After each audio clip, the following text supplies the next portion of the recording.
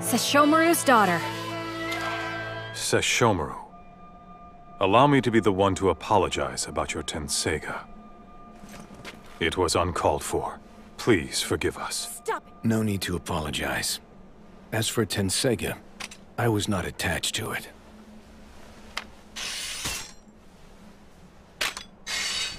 Bakusaiga will be more than adequate to end this. Yes, I can, and I will.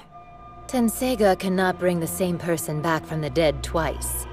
If you bring me to death's door once again, that woman whose life is still tied to mine will also perish. That is what you desire, is it not? Oh, oh, Rin, are those tears I see? What's causing you to suddenly cry?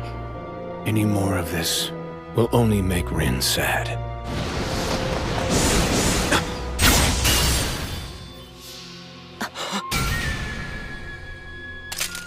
Sesshomaru, you failed to chase after Akaru's pinwheel.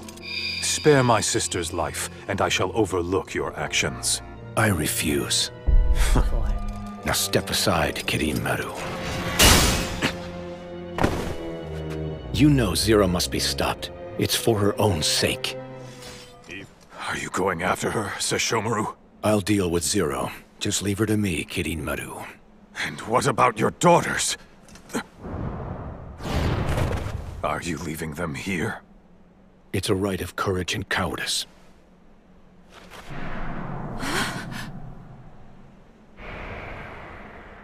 Sesshomaru's daughters. Their true worth will be measured by survival. As is the fate of all half-demons.